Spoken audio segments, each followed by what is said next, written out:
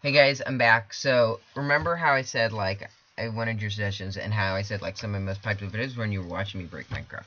Well, I've been thinking about that, and I'm gonna start this mini-series of, like, five-minute long videos where I just modify one random thing about Minecraft and stuff. So, like, today, I'm just going to be making it so lightning bolts never despawn. So, Normally, these are going to probably be about 5 minutes, but this one's going to be longer because I'm also going to show you how to decompile Minecraft in this one as well. So, yeah. So, if you're doing this for 1.12.2, you can follow this tutorial.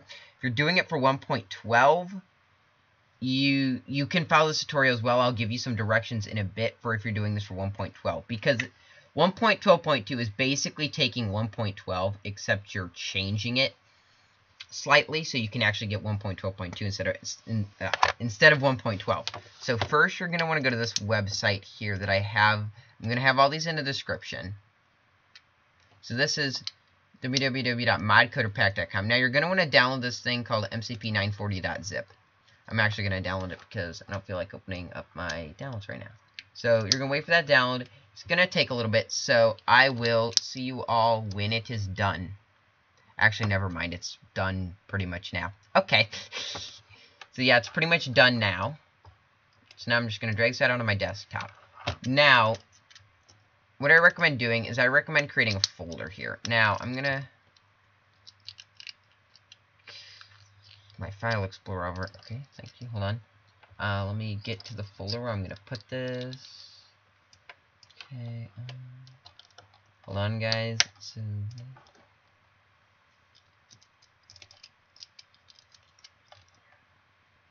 So I'm going to put mine in this MCP folder on my data drive. So here I'm going to create a new folder.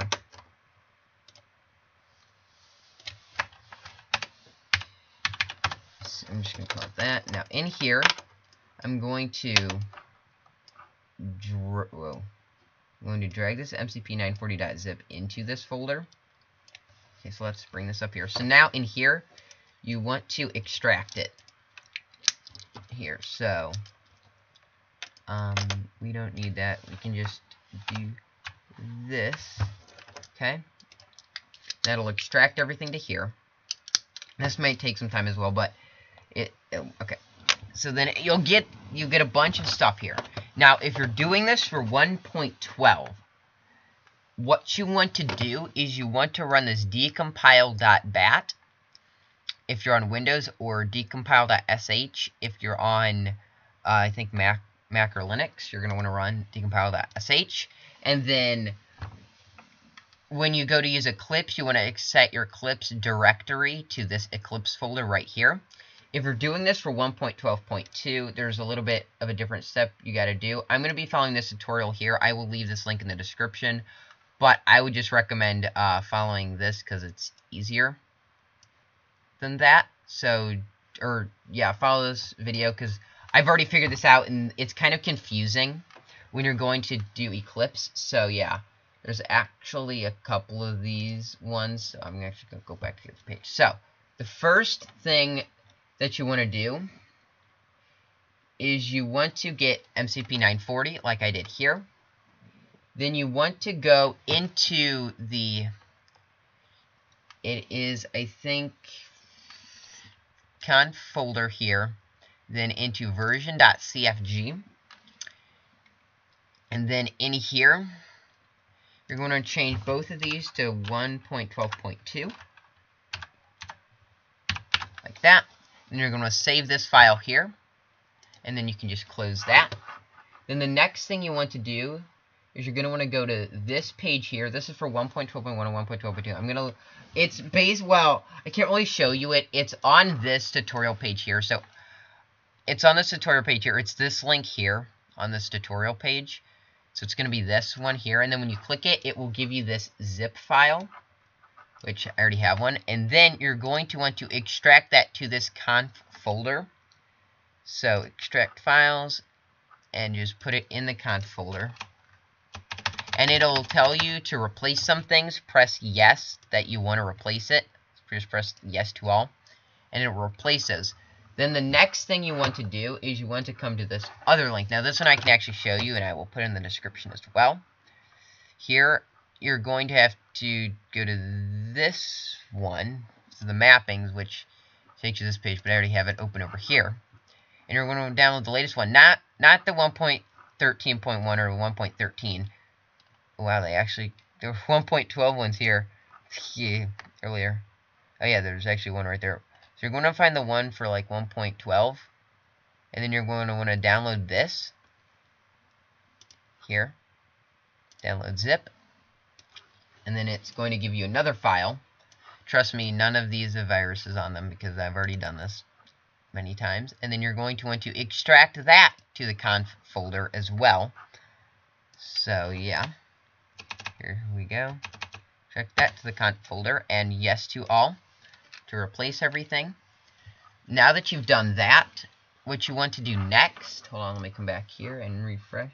Okay, so next, after that, what you want to do is you want to run decompile.bat or decompile.sh if you're on Mac.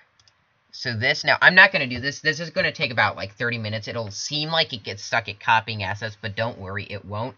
And if there is like some kind of error in the decompile, you can post something to that to that uh, form that I'm going to have in the description because I really don't know how to do this. It hasn't broken for me yet. But if there's an error, you can always do that. And it might be something with your Java version. But after you do that, because I'm not going to do that because that's going to take forever. But after you do that, I'm just going to go to this one, 942. So then you're going to get this, and it's going to decompile everything. Then the next thing that you're going to want to do is if if you're if you're just going to use this just like this without Eclipse and you're just going to use like the start client.bat and start client.sh, you're fine. You don't have to watch any more of this unless you want to see me, of course, freeze lightning.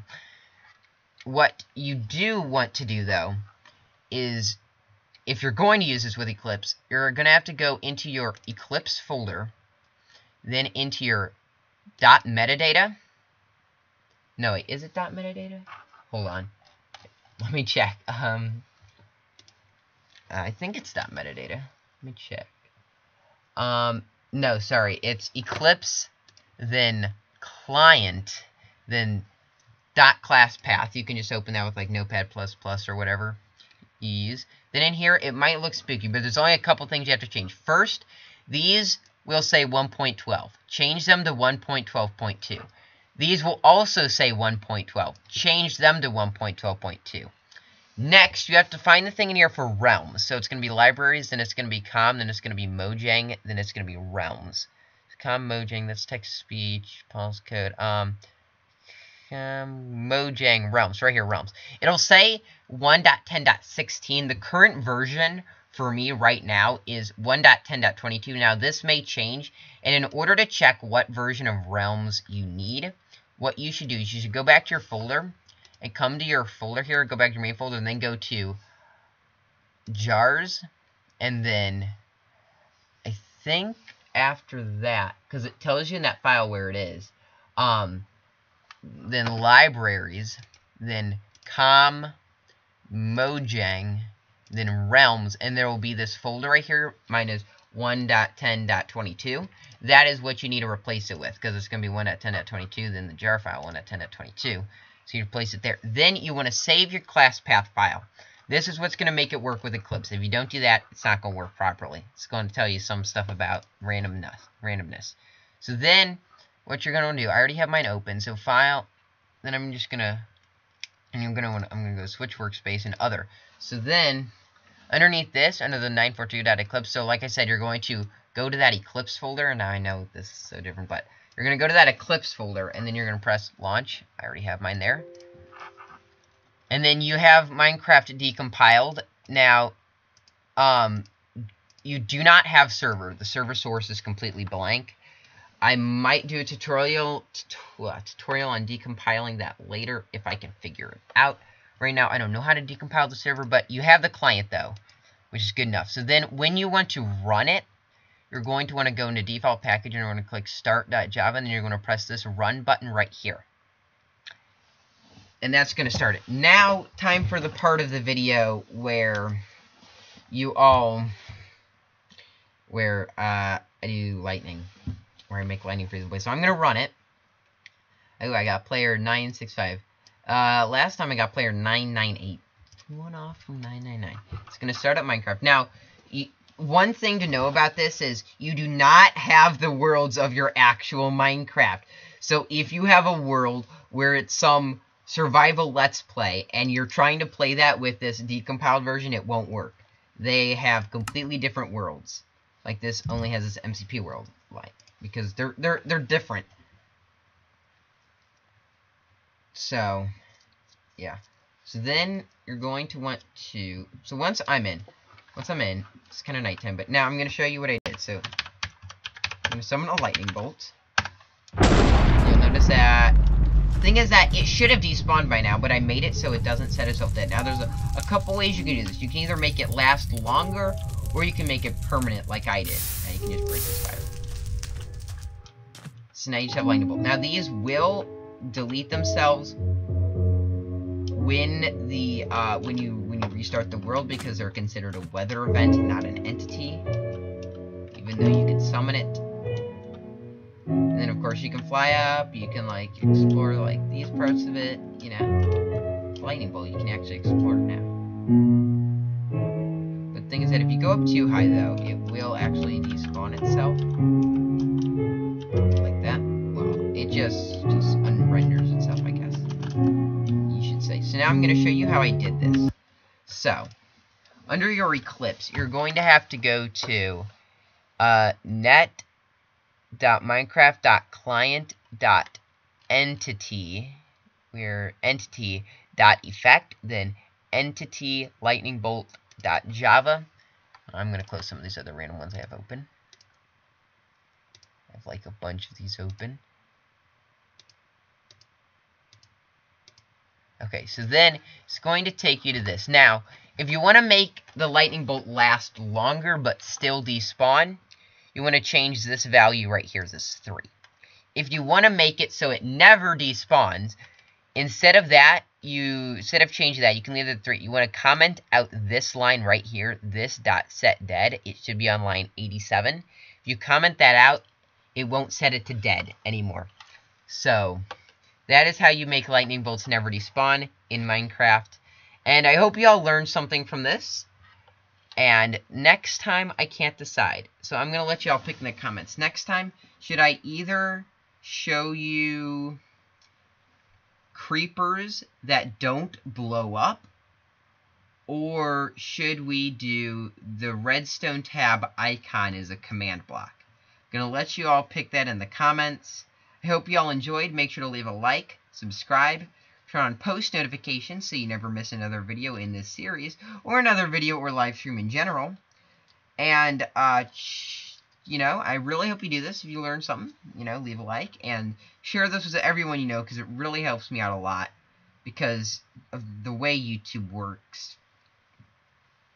You know, it's it's hard to get popular on YouTube unless you're like one of the first people on YouTube, it's hard to get popular on YouTube. So, yeah. So, I hope you all enjoyed. Make sure to leave a like, subscribe, turn on post notifications, and oh, oh and goodbye.